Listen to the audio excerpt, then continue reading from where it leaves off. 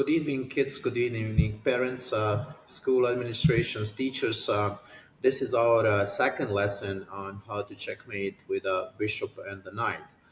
And um, this one is really important because here you learn how to bring the king from a wrong corner into the right corner. So right now the king is uh, in the uh, uh, um, dark color corner. And that's not good for white because with a with a bishop that is on white color we cannot checkmate here. So what we have to do is we really have to bring the king all the way to this corner or this corner here. Right? That's what we need to do. And in this uh, process of bringing the king to the right corner we have to be careful not to allow the black king to end up in this corner because if that happens, then we are not going to have enough time to checkmate the king. Uh, on the chess tournaments, you need to checkmate in 50 moves. And if you don't do that, then the game is a draw. So you really don't have uh, much time for an error.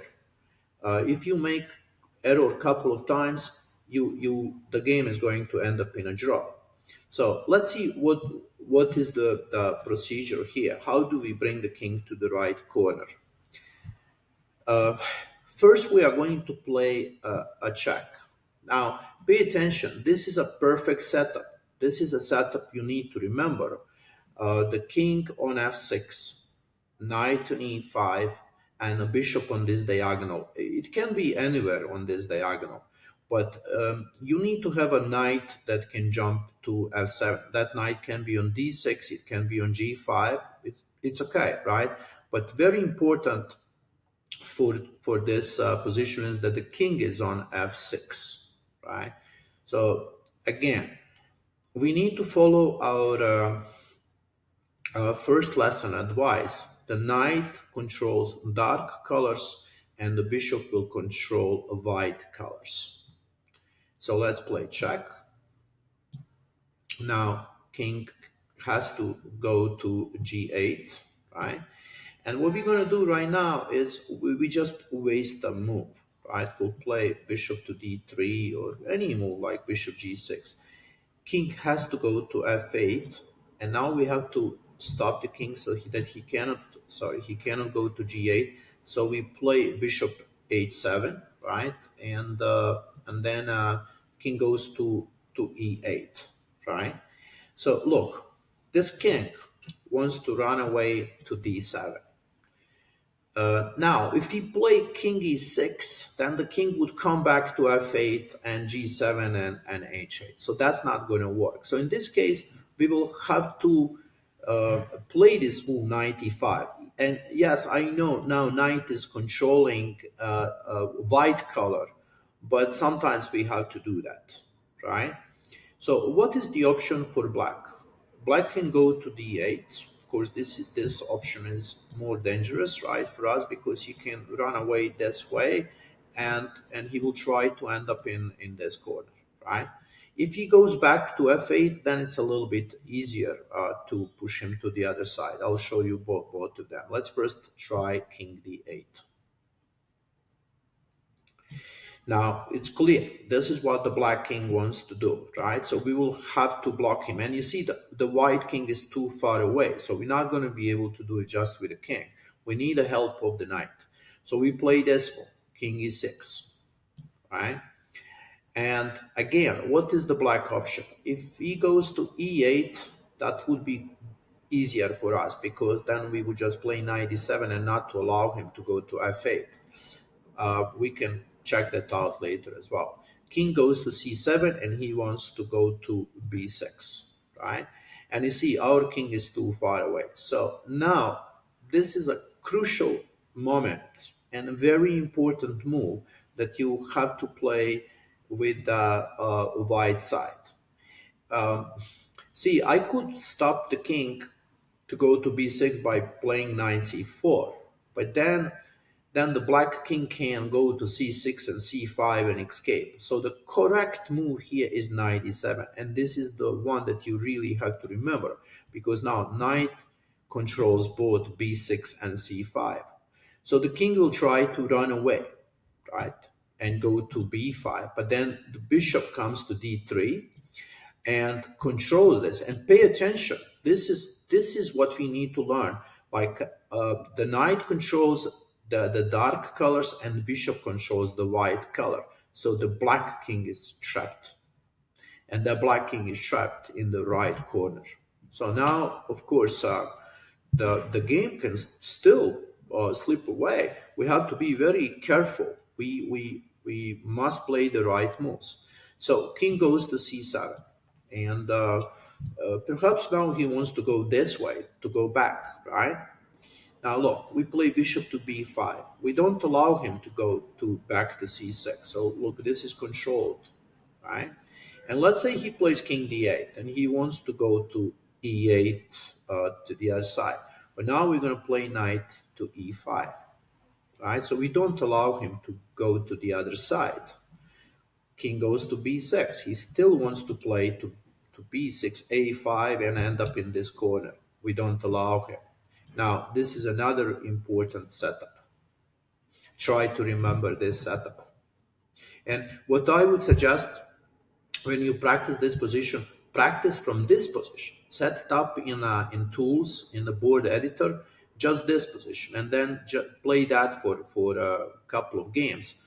And, and once you learn this, then, then you can uh, go from the beginning position, right? So now the black plays king d8 right? The black wants to stay as long as it's possible um, in the center of the board, or you know, if he can go to the other side into the wrong corner, right, into the dark color corner. And now we have this technique that's very important. When you push the bishop, when you put the bishop in between the kings, uh, that's a good strategy to push the the black king in this case uh, to the corner. So look, we play bishop to d7 and you see now we are taking a space from the king. So when the king goes to c7, we play king e7. And this is something we need to remember because we'll need this position later on when, when, we, when we set up the pieces uh, anywhere on the chessboard. Now, king has to move, right, to b7, and we can bring our king to d6 or d8. We don't have to worry about this king anymore. This is, this is a, a, a great setup that uh, uh, king is, is, trapped, cannot escape, you see, because the knight controls uh, dark colors and bishop is controlling uh, the white color. So the black king cannot escape, all right? So we play king uh, to d8 or king to d6 is also fine. Let's say black uh, plays move like uh, king to b8. And now we can play bishop to c6 just because we want we want king to uh, to uh, to end up in the, in the on, on the side and in the corner. So we bring the king and pay attention that pieces are working together. It's a teamwork, right? Without the king, we really cannot uh, checkmate. Right now, king a6, and what we have to do right now, we have to make sure that this king ends up in the corner.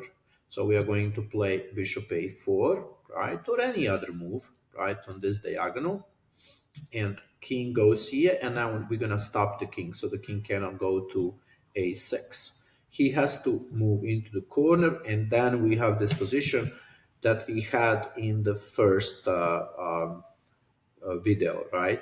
When the king is in the in the corner, we just play this strategy check, and we ended up in the same position that we had in the first uh, game that I explain you. Now, let's go back uh, and uh, let's go back all the way back and, and just see this one more time. First, remember the setup of your uh, pieces. That's the first thing. Now, because this, you will need this, right? You will need, because if, if we put the pieces all over, right, the chessboard, that's what we want to accomplish because the black king is gonna run into the wrong corner right? So remember this strategy, right? Now let's let's see what happens if uh, if uh, black plays something else, right? We we go here to h7, we stop him, right? Um, and we play this move. what happens if the black goes back? Right? Let's see this strategy now.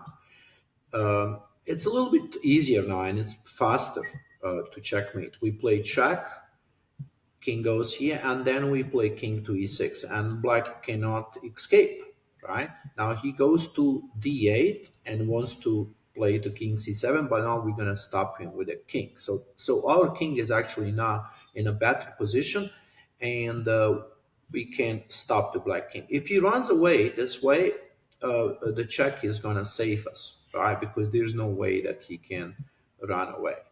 And now we need to do adjustments look, we'll uh, we'll play some adjustments like like we need we need a knight and we need to uh, try to get this black king into the corner. So let's say he plays here and look, um, we can uh, we can uh, uh, now uh, play a move like um, like this, right? And if he comes back, we'll play knight b7, check.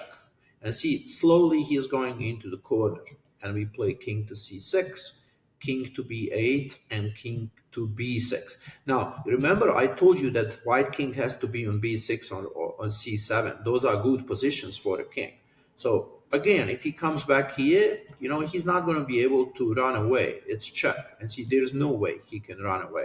And now we just have to, again, adjust uh, the, the, the king, maybe knight c5 or knight a5. You know, we'll uh, we'll figure out some kind of checkmate there. Right? Look, we can uh, just lose lose the move. Don't don't don't allow him to run away here. If you play knight e6, king b8, uh, I mean knight e6 would be uh, stalemate. But if you play bishop d5, king b, and knight e6, he runs away. So we need to waste the move and uh, checkmate right here it's already easy right uh, when we get him into the corner. Now uh, let's see um, let's go one more time back. Uh, so we have knight to seven. We are chasing him all to the other side. And this is an important move bishop h7 you have to remember that move. So that's what we have. That means the king could go to d8 or a5 or he can go back to f8 right so um, it, it is it is harder when the king goes to d8 and c7. But if he goes to f8, you just have to remember the strategy with the knight d7, right? And and then the king. So the the knight is helping us uh, to put him on the other side. Um, and again, the most important is this move, knight e7. You have to remember knight e7. Um, and and this position. This is a crucial key position to remember. So this king cannot uh, escape. Can he do something else here? Let's say this move, and we play knight e5. There's there's not much that the black can do. Like if you succeed to get uh, here, I, I'm sure you'll be able to checkmate, right? The most difficult is when the black runs away. If he gets to, to this corner, then then you have to start from the beginning, right? That's that's what it is. Okay, let's see how do we practice this. You can uh, uh, go to this uh, study. It's in advanced level, lesson nine, bishop and uh, knight checkmate. You can do it. Uh, you can practice this way. Um, you can also go to tools and you can set up any position, right? Um, but I would suggest you you mm, uh, if you want you can set up from the beginning and, and just try to memorize all those uh, moves. Um, and and you'll see it's going to get better and better. Uh, it is really important to to to practice this many times you know, so that you get a feeling for a for a knight and and the bishop uh, uh, and you can set up the fortress so the, the king cannot run away. Okay, kids, um, uh, I hope you enjoyed this lesson, and I'm going to see you in, uh, in our uh, next lesson with the bishop and the knight. Bye-bye. See you. Good night.